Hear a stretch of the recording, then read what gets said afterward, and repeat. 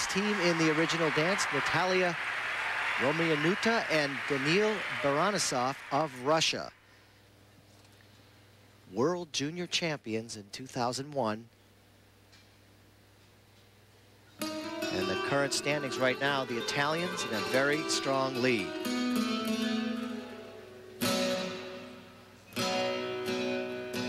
One thing I have to say about this couple is they have tremendous speed as they cover the ice. They're very aggressive. I have to say one of the fastest, if not the fastest, moving couple during practice and warm-up. Very beautiful use of arms. Good unison.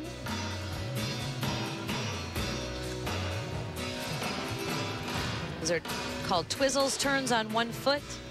Their footwork didn't quite reach the end. It was a little slim towards the latter part.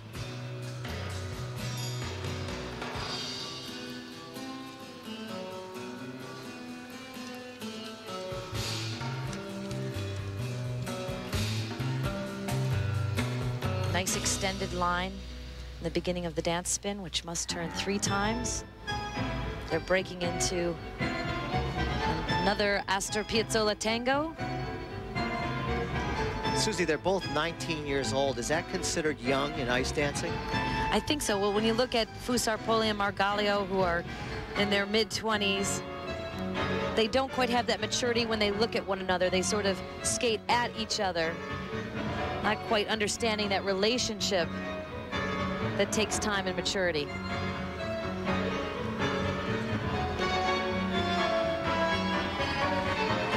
But both are very skilled skaters, very sure-footed, very comfortable in their skates. They're very close in height. You notice that there's not a lot of height difference between them. Unfortunately, that acts a little bit as a distraction and limits them in their lifts and some of their movement.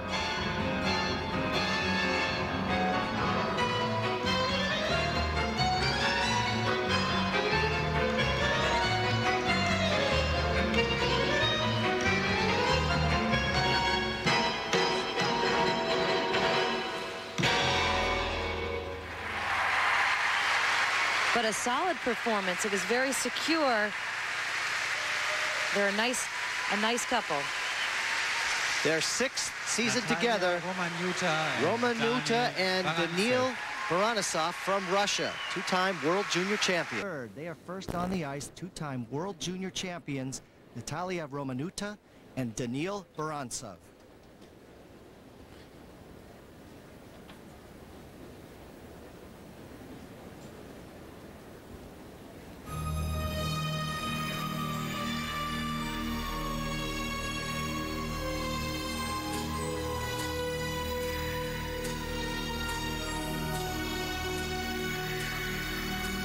Music, Exotica, by Rene Dupere. One of the requirements, a dance spin. There are two to three dance spins allowed in the free dance. They must rotate at least three revolutions.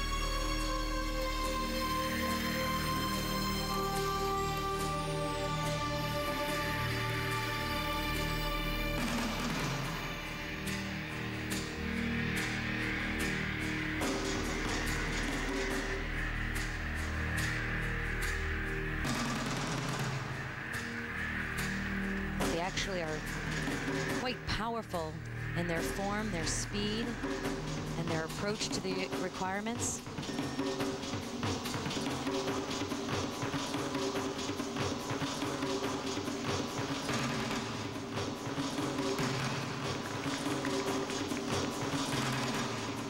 In third, after the original dance, they have a great opportunity with the withdrawal of Kati Winkler and Renee Lohse of Germany to win their first Grand Prix medal.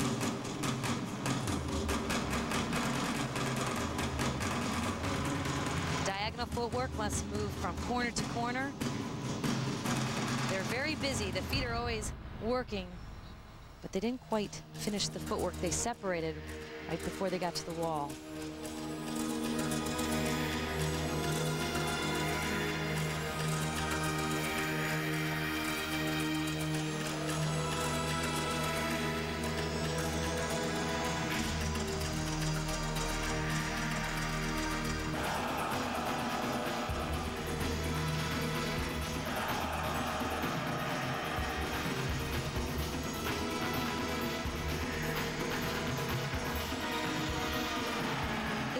Footwork is actually quite difficult with the arm holds that they're using.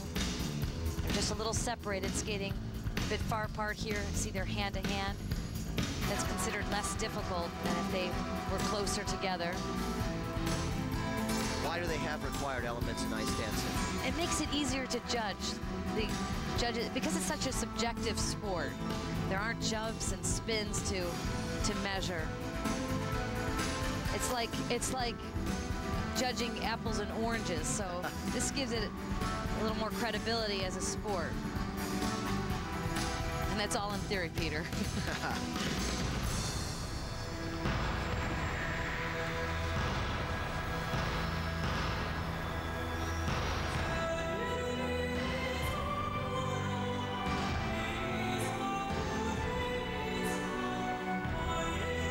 They're both quite emotional skaters. They don't really send that emotion toward one another. Only 19 years old. But what's a bit distracting is their physical, the close, closeness and height is a bit of a distraction.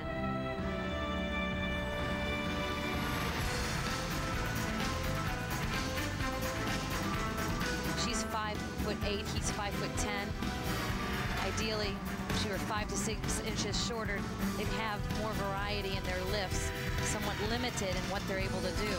You need that at least in pair skating to be successful. Not more, you're right.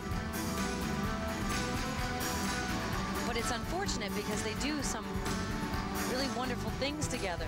But see, the lifts are not going to have as much of an impact.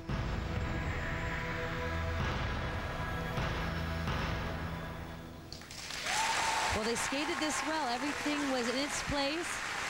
I enjoyed the emotion. Their speed is quite amazing. Natalia Romaniuta and Daniil Barantsev of Russia. They're the only team of the top Russian teams that actually train in their home Natalia country.